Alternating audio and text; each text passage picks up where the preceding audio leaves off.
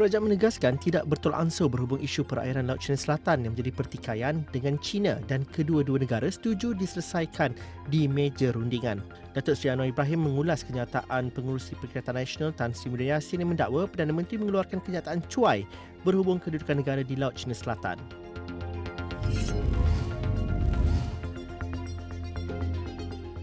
Jabatan Kebajikan Masyarakat mengeluarkan notis peringatan dan penutupan sementara kepada pengusaha Taska sesudah kes seorang kanak-kanak yang dipercayai didera.